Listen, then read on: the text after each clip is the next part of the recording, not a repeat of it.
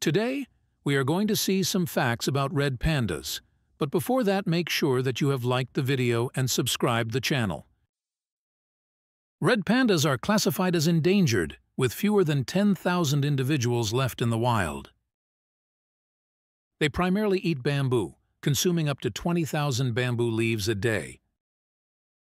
Red pandas are skilled climbers, spending much of their time in trees. Their wrist bones function like thumbs, aiding in gripping branches.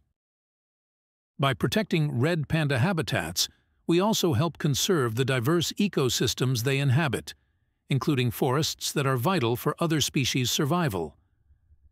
Conservation efforts for red pandas contribute to the preservation of biodiversity and ecosystem stability in their native regions.